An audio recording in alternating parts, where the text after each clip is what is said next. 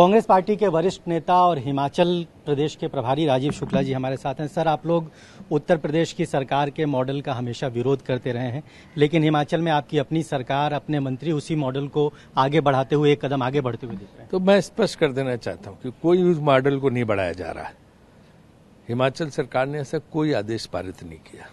विधानसभा में स्पीकर ने कमेटी बनाई है, क्योंकि वहाँ जो रेडी वाले हैं, जो फुटपाथ पे सामान लगा तो उसके लिए उसको नियमित करने के लिए कमेटी सुझाव देगी, जिसमें उनको बाकायदे जगह अलाट होगी कि आप फला जगह बैठ सकते, फला जगह नहीं बैठ सकते। उसके लिए जो आधार आधार कार्ड लेके वो लाइसेंस दिया जाता है, वो दिया जाएगा।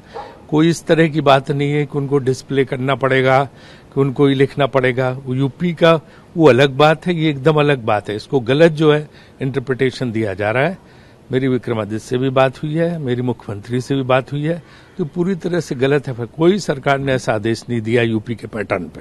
सोशल मीडिया पे उन्होंने पोस्ट डाला है तो उसमें योगी आदित्यनाथ की तस्वीर डालने की वजह क्या आप लोगों ने उनसे जानकारी ली है कि एक दूसरे प्रदेश के मुख्यमंत्री जो इस तरह के मॉडल को लगातार एडवोकेट करते रहते हैं उनकी तस्वीर कांग्रेस की कोई मॉडल एडवोकेट नहीं किया जा रहा है योगी जी का। ये बिल्कुल से सरकार ने कोई आदेश ही नहीं दिया तो कहाँ ये बात है?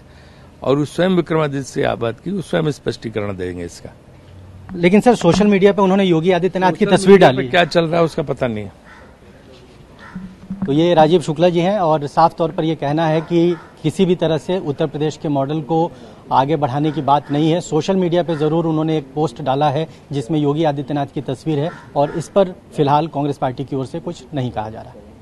कैमरामैन विपुल के साथ रजनीश रंजन टीवी नाइन भारतवर्ष दिल्ली।